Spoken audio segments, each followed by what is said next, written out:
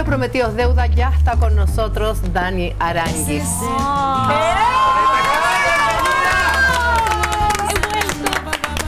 muy feliz. He sabido volver. He sabido volver a la vida. ¿Cómo estás, mi Dani? Eh, estoy bien, estoy tranquila. Hoy día creo que desperté con otro ánimo. Eh, quería aprovechar, que no se lo dije en la pauta, pero lo quiero decir acá. Le quiero dar las gracias muy, muy, muy especiales a mi querida G. Eh, ella sabe por qué, pero me apapachó en el momento que más lo necesitaba con un gesto hermoso y ahí se ven realmente las personas como son. Eh, quiero decir que la G se fue a buscar a mi hija, mandó buscar a mi hija con su hija y fue muy bonito, muy bonito y a todos, a todos ustedes por sus mensajitos, mi Maica, la Carlita, mi querido Sergio que me fue a ver a la casa, llegó sin, sin pedirme permiso, sí, pero Bueno, no, no, no, pero un amor a todos, de verdad, por Estábamos todos mensajes. preocupados por ti, por los Sí, niños, por todo. Les mando cariños a todos y muchas gracias por esperar esta pausa que me di, que era muy necesaria porque me tocó cumplir un rol de madre, como lo dije el otro día en el otro programa. Y yo creo que cuando pasan cosas difíciles, uno tiene que estar con lo importante, que en este caso son mis hijos y tenía que apoyarlos. Hoy día también quiero aclarar un punto que se especuló que, que yo había pasado la noche o que había ido a visitar a Jorge. Yo quiero recordarle a todo Chile que yo soy la madre de los hijos de Jorge y lo voy a hacer hasta, que hasta el día que se muera. Y si mis hijos quieren ver a su padre, ahí va a estar su madre para llevarlos y apoyarlos. O sea, en el fondo todas las especulaciones que se dio por tu visita al departamento de Jorge hoy día, como que había sido la primera persona en ir a verlo, tú fuiste a dejar a tus hijos. Jorge ayer creo que estuvo con su mamá, con su hermano, súper contenido y, y creo que tenían que tener su espacio, que era necesario también. Y obviamente que, que esperé un momento que pudiera él compartir solito con sus hijos, tomamos desayuno y fue muy bonito. Así que eso, ¿qué más puedo decir? Se te ve más tranquila. Estoy tranquila. Bueno, no se me vio durante No, dos pues, no se te vio. No se te No, vio, con pero, respecto pero. al viernes, por ejemplo. Sí. Ah, sí, es que el viernes era complicado, pero yo creo que con lo que pasó ayer, obviamente que la tranquilidad de mis hijos es mi tranquilidad y en este caso cuando uno ve feliz a, a sus hijos, eh, esa felicidad se contagia, lo mismo que la pena, que dije el otro día que el sufrimiento de mi hijo iba a ser el mío, en este caso es lo contrario porque pudieron abrazar a su papá, estar con él, darle besos, eh, tomar desayuno con él, que son cosas que de repente uno no valora el día a día, pero cuando pasan estas cosas tan graves y fuertes y chocantes, obviamente que se disfruta. ¿Vas a bailar en la Teletón? No, no, de verdad que no tenía como cabeza para los ensayos y preferí dejarle mi puesto a otras personas que sí pueden integrarse, como Llamaron Camila Andrade, ponte tú. Sí, me llamaron, pero no, yo... Creo que va a no, bailar era la chama. tuyo, una- la- Va a bailar la chama, va a bailar Camila Andrade, así que va a estar súper bonita la Teletón igual y en otra oportunidad feliz de poder Ayudar. participar y ayudar. El cumpleaños. Las cosas que... de- Pero como- mira las cosas que No te pasa. La fiesta. Ay, pero ¿por qué tengo que ser tan profunda? Eh, Dani, que nosotros ya compramos la ropa.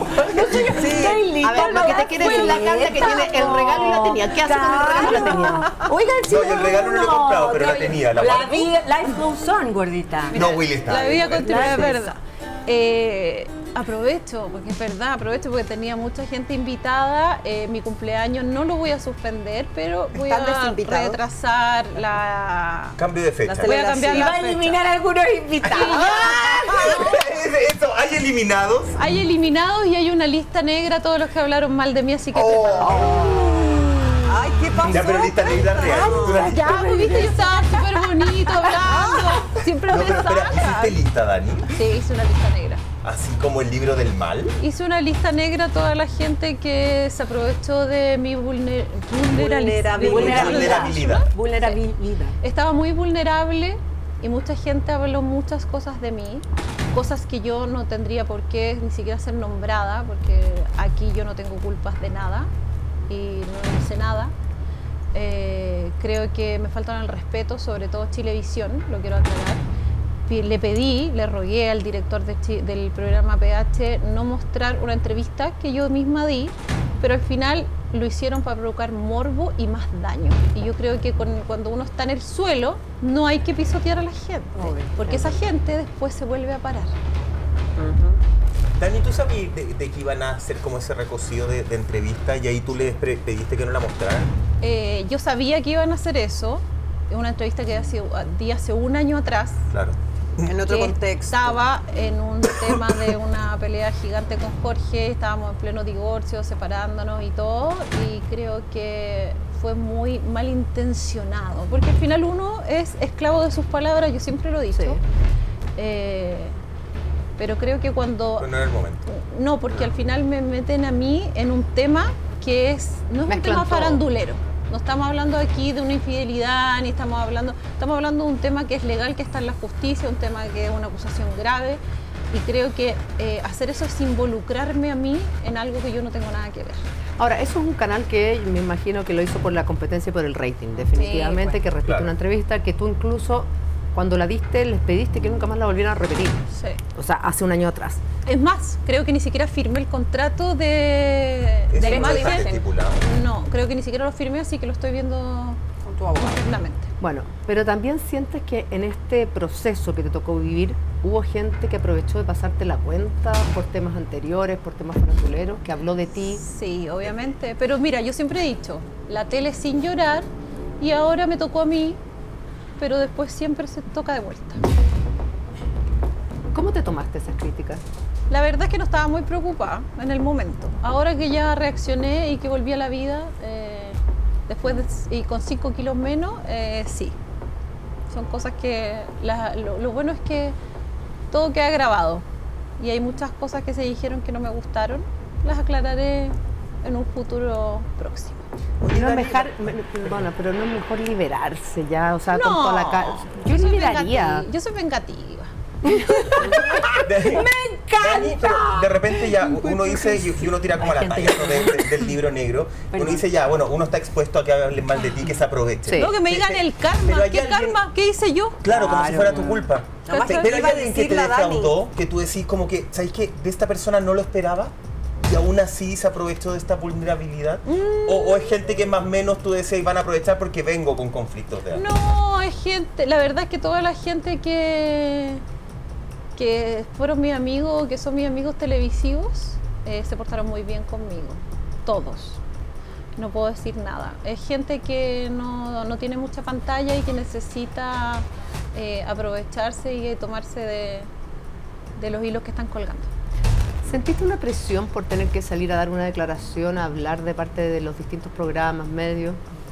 La verdad que presión no, porque yo soy muy tajante y cuando no quiero hacer algo nadie me puede obligar. Y, Nos damos cuenta, Y, nece- necesitaba una pausa para estar ahí presente y me la di. Y le quiero agradecer también a mis jefecitos de Mega y los de aquí de TV Más que Hoy está el jefe esperan. mayor ahí, así que di Sí. primero los de tema y después los de Mega. Bueno, lo- bueno, los puse en mi columna, la primera, lo primero que escribí, eh, los puse en primer lugar a TV Más. Muy bien. Tengo que Y a tu decir. jefecito de la hora también, pues si tenés más hora. jefes que yo el año pasado. Entonces les quiero agradecer por dejar que me tomara este, este tiempo. No Yo sé que me lo van a descontar, No te lo van a descontar. El jefe dice lo vamos a descontar, pero el jefe acá abajo dice que no. Oye, Dani, ¿y hay una manera distinta de enfrentar la vida a partir de un hecho tan doloroso que tú no tienes nada que ver, pero te ves envuelta, como tú dices, cuando a nosotros nos tocan a nuestros hijos, es lo que más nos puede llegar a doler en la vida? ¿Hay otra manera de plantearse frente a la vida después de este hecho? La verdad es que yo estaba media choqueada, entonces como que no, no sé si tengo respuesta para tu pregunta, Juli, porque no Es que yo me tenga que tomar la vida diferente, yo creo que yo no he hecho nada y no me puedo culpar de nada y no puedo tomar la vida de una manera diferente de como yo la vivo, como la estaba viviendo. Pero sí, obviamente que de repente uno se cuestiona muchas cosas, hartas cosas. Como quizás exponerse más de la cuenta, pecar por impulsiva, quizás por rabia, Sí. decir cosas que no te das cuenta que de repente se van acumulando y pueden causar más dolor de, de- de lo que uno piensa. Dani, el, el panorama se va como, de a poquito se va como esclareciendo, por lo menos lo que, los pocos antecedentes que van pasando, pero tú, a- tú a Jorge lo apoyas como familia, lo dijiste como padre de, tu- de tus hijos. Pero de ahora en adelante, eh, ¿te vas a involucrar tú, por ejemplo, con, no sé, pre- pregunto por... por por, ¿Qué me- por la, qué- por la abogada, por la abogada, empezar a tratar de, de juntarse más con la familia, por ese tipo de cosas, o prefieres mantenerte igual al margen? Yo creo aspecto? que los temas legales son algo de Jorge y su abogada, que, que él era un hombre grande. Yo puedo apoyar siendo una buena madre y toda la vida lo voy a hacer. Y yo creo que eh, para Jorge una tranquilidad ver a sus hijos también con, con la contención que yo les doy. Oye, Dani, una de las inquietudes que yo tuve todo No me hables tú que estoy enojada contigo. No, mentira. Una que se la lista negra, cumpleaños. Cami? Una que se acaba de caer de la lista. Son bromas. A la lista púrpura. Ya conversamos con la Dani. Mamica. Estás en la lista gris, hija, te lo digo. Al medio. No negra. Al medio. Hasta el momento la quiero mucho, la Ya. Hasta el momento solo vas al Piensa cóctel, bien no la. No, vamos a hacer oye, llega después de las 12 al bailable, ¿no? No sean así que ya hablé con la Dani Impasse. ¿Le pediste perdón? No, mentira, que perdón si estoy leseando.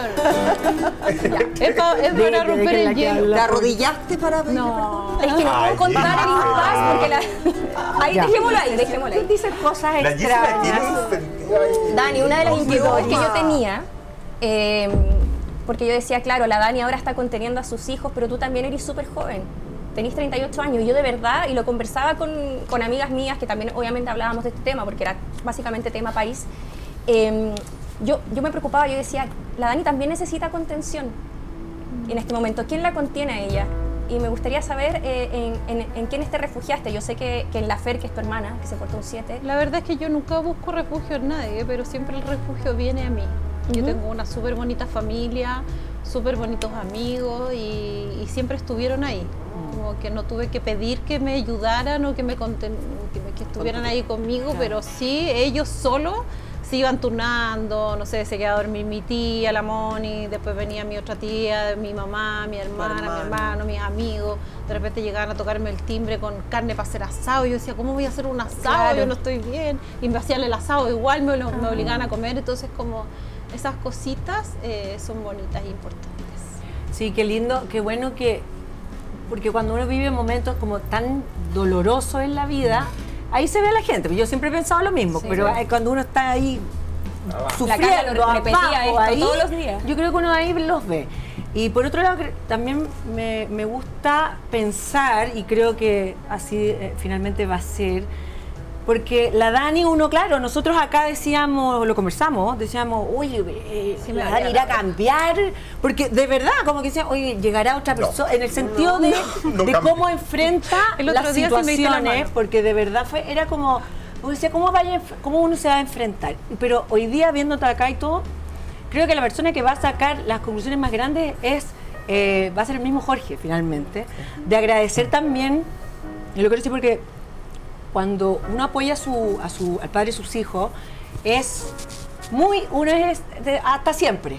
Y creo que lo demostró, o sea, más demostrado que la situación que se vivió familiar, eh, nada, pues, eh, como se saca el sombrero, chapó por ti. Y me, me parece que la vida, claro, en cada momento te pone como situaciones que tú decís, ¿por qué serán? En el, mo-?" y después pasa, pasa el tiempo y uno lo mira hacia atrás y dice, ah, No, y además que, o sea, a mí me impresionó, y te lo voy a decir con todo el cariño, la cantidad de gente como que esperaba que tú tiraras y prenderas el ventilador claro. contra Claro. tu, el padre de tus hijos. Mm. Sobre todo por la llegada a tribunales, cuando él llega de la mano con la diputada, en fin. Entonces, había mucha gente expectante. Y tú, al contrario, te preocupaste de lo importante de contener, de saber que es el padre de tus hijos, que fuiste pareja du- durante tantos años con él, y que lo importante en ese momento eran tus hijos. Lo que pasa es que no se pueden mezclar dos temas súper diferentes.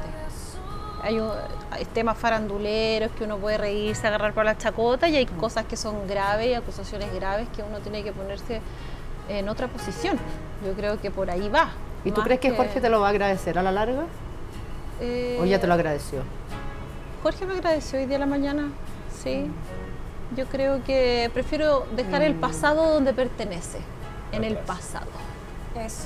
Además que ustedes justo se estaban llevando súper bien como padres, estaban Sí, llegando a muchos teníamos acuerdos. una relación súper bonita como papá hace harto rato ya. Qué bonito. Ay, están todos con No cara me miren con cara de pena que a mí no me gusta. No, o sea, no es cara de pena. Espérate, están todos con caras como Mira, yo te voy a decir algo, tengo que admitir que cuando fui al programa Olifama yo estaba mal, estaba pasando por una situación, pero dije, no, tengo que agarrar fuerza y tengo que ir. Y ahí tuve a mi Sergio aquí, estoy contigo, cálmate. Se escuchó. ¿Se escuchó? ¿Se ¿Sentiste eso? Sí. Pero me decía, escuché. quiero que estés tranquila, estás cuidada, te quiero, Dani. No, y en un minuto te bonito". desesperó porque te sacaste el sono y ahí se escuchó Sergio. "Oh, que el que me- no, no podía como ordenar mis ideas. Y después estaba el Michael que no me soltó la mano. Me agarró la mano así como. Que ya a mí me da miedo agarrarle la mano a esta. Sí, porque es bruja. Sí, po, sí, por eso. Sí, porque es bruja. Sí, no, Sí, fue- porque es bruja. Así, eso fue esa vez nomás. Con la Pero Carla sabemos. ha estado Oye, muy silente.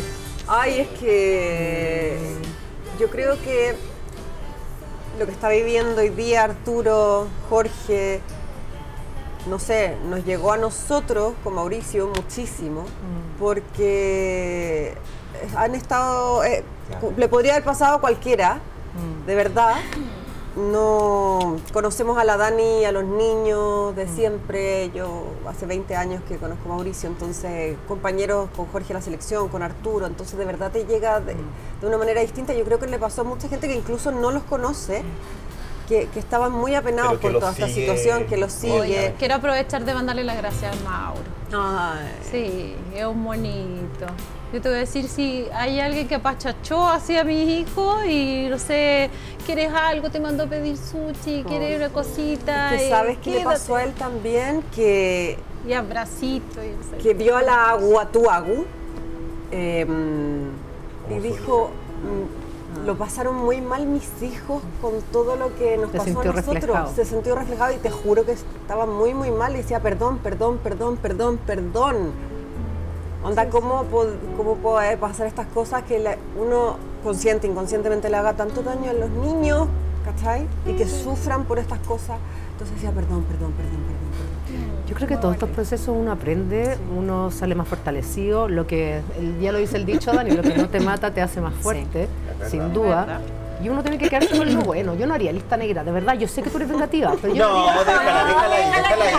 Sí, sí, No quiero lista Sí. no, ni haría lista gris tampoco. Pero ¿sabéis qué? Yo, yo, ojo, yo, yo, yo le sacaría la maldad Sí. de la lista negra. No, es ¿En que la maldad va ¿en- ¿En qué incluida. sentido? En que de Hay que repente- filtrar también. De repente, Sirve para chiquillo. Maldad no uno vale. tiene- pero déjenme, de repente uno tiene memoria muy frágil. Eh, y uno suele perdonar, perdonar, Perdonar. Perdonar. eh, muy fácil.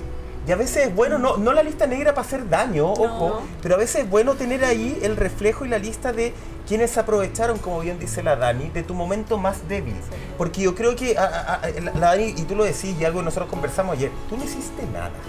Absolutamente O nada. sea, nosotros fuimos O los sea, primeros en decir qué va a salir a decir la la Dani gente si que no en redes sociales, porque hay, hay, de- hay mucho, hay mucho amor y también hay mucho odio. eh, la gente que hablaba en redes criticando a Tati era como, pero de verdad te pegaste en la cabeza, como, ¿cuál, cuál- cuál es la lógica? Pero creo que sí es bueno recordar en la vida quienes se aprovecharon de tu momento más débil y quienes quisieron en el fondo creo. dañarte en ese minuto. Yo a esas no para dañar, no, pero sí para a esas personas hay que mandarle mucha luz porque ¿sabéis qué? No, amiga, la tienen en no, sus vidas. la luz me la automando yo. No, sabes que la luz está bien cara, así que no le va a mandar nada Nada nadie. de luz, no. nada de luz. No, pero en Sí. verdad, yo le mandaría luz porque, o sea, de verdad, bueno yo creo que tú puedes tener grandes diferencias con alguien. Tú puedes ser archienemigo, farandulero, de lo que tú quieras con alguien. Pero pegarle a alguien que está en el suelo o que está desvalido o que está Eso es vulnerable. maldad.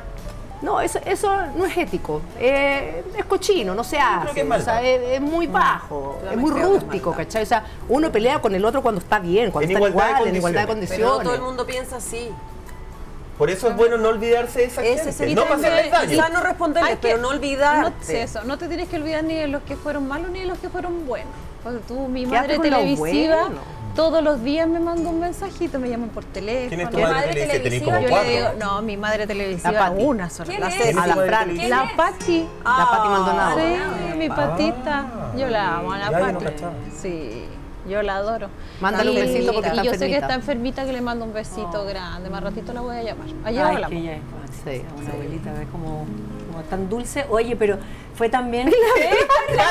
Ah, es como una bolita tanto. Es que la Pati, es que la, si ustedes supieran las cosas que hace Pati Maldonado acá, no, lo que de verdad es impresionante, es como que, es como, eh, a- a- donde- cuando hay comida está la Pati, cuando hay cosas ricas, Sí, cuando te está la están Pati, sí, es atendiendo está la Pati. O la Gisela, que también no- ayer No, regaló sí, a pero, eh, porque por la Pati, por la, por la. Oye, pero ¿sabéis qué pasa? Que eh, fue, ha sido tan raro todo esto, porque ahora que está la Dani, como uno se ay, hace re- Sí. hay que botar la, eh, toda la energía que teníamos, porque de verdad.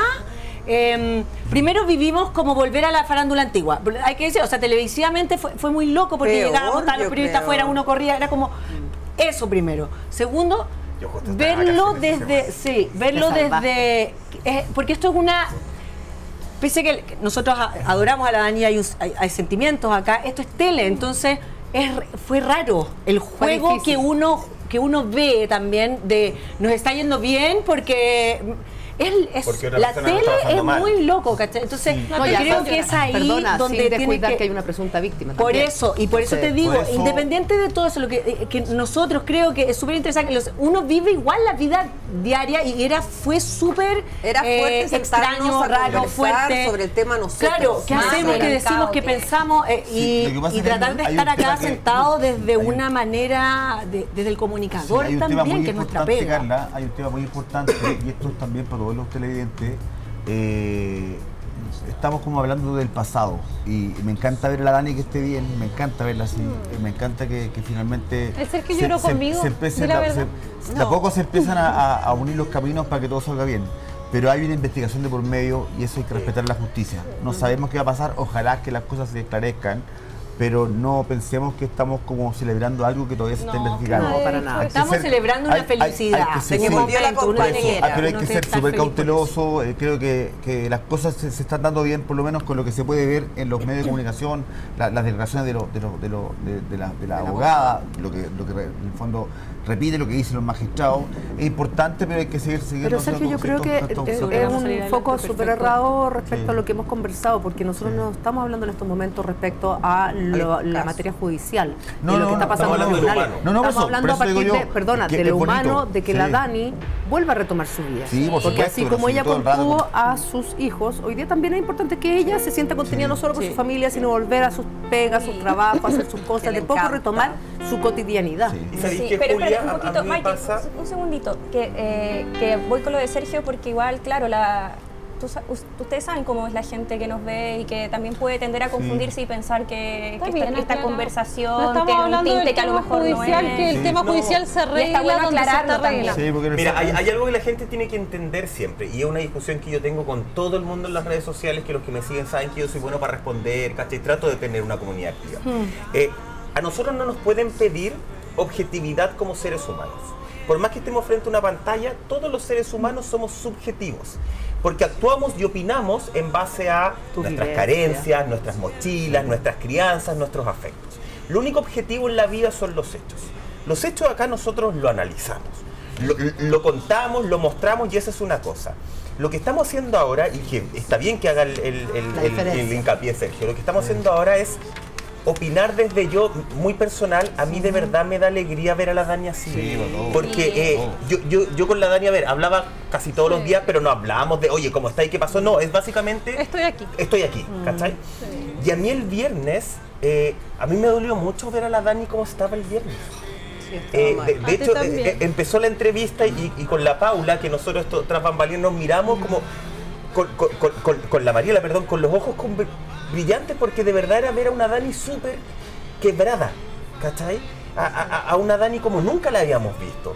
Y, y uno puede molestar acá, que no, que no somos amigos y qué sé yo, pero uno va generando lazos de afecto, va generando emociones. Entonces, a mí sí, yo hoy día sí celebro, separando las cosas, el tema legal, entendiendo que hay 90 de investigación, pero yo sí celebro ver no solamente a la Dani, siento que la Dani representa a las mamás, ¿cachai? Que están con esa fuerza, que pueden estar en la, perdónenme el chilenismo, en la mierda, pero salen con una sonrisa para que sus la hijos estén bien y que la vida sigue. Y, y en la Dani, pucha, yo también veo a mi mamá todas las veces que se esforzó, que se sacó la cresta, veo a muchas mamás y eso sí me alegra y eso sí me emociona. Y eso yo, desde el lado subjetivo, sí me gusta Sí. celebrar. Y entendiendo que la Dani no tiene absolutamente nada que ver con el tema judicial, que lo, Sí. lo planteamos desde el minuto. No, desde el lado de la fuerza de mamá. Exacto. Ahora, Sí. Muy aprovechando de mamás, yo le quiero mandar un beso gigante a la Cata Pulido, porque Sí, esas sí. cosas sí que son, yo creo que, como Potente. le escribí a ella, eh, creo que son cosas tremendas que ni siquiera tengo palabras, Mm. solamente darle mucha fuerza y un besito grande y cariños a la Catita, que ella sí que los Nuestras pensamos. condolencias absolutamente de parte de todo nuestro equipo. Sí, Porque se las dimos. Esos son dolores que Esos no son pasan. dolores que no y uno trata de aprender a vivir con ellos, pero son temas realmente potentes y realmente fuertes. ¿Qué quieres que te diga, pues, Dani? Bienvenida a tu casa. Gracias. Nada más.